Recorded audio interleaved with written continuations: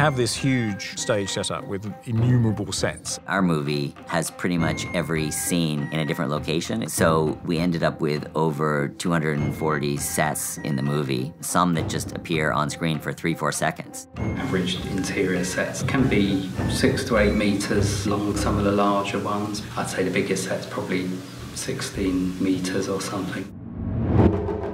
Once we have an idea of what we're doing, we had two great concept artists. Turlo draws all of his concept art on black paper. He drew a lot of the Trash Island landscapes. Victor drew a lot of concept art for things like the drones, the robot dog.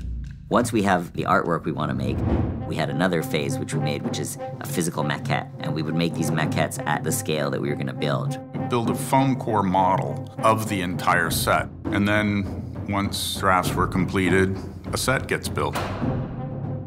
And there were two ways in which sets could get built. One is traditionally what you think of as carpentry and paint and that sort of thing. But then, because so much of it is a trash environment, our set dressing crew, led by Barry Jones, would oftentimes create sets kind of organically. It can't be too slick or polished. We shoot more real elements and combine them together rather than computer generating a lot of elements. You're shooting real things and you're having to match real things together. Just trying to find solutions to that from a very die-hard stop frame point of view can be very difficult. You don't think about it when you see it, but the techniques that were being used were really creative and like how do I create this feeling? And you can see in this film in particular such a meticulous attention to detail and creating this world.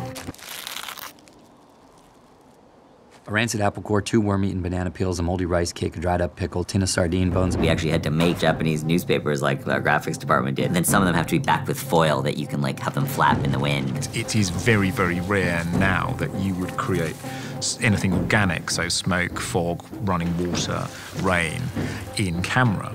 But I think Wes is very committed to that thing. For the most part, all of the raw elements of this film, we're trying to build as much of it practically as we can. How do we create vast seascapes in camera? It's a very, very difficult thing to do. And think about how hard it is to create three maelstroms, three whirlpools out of cling film, the fire, the waterfall. You have a, an idea of what you hope it to be, and then it's 10 times better than that.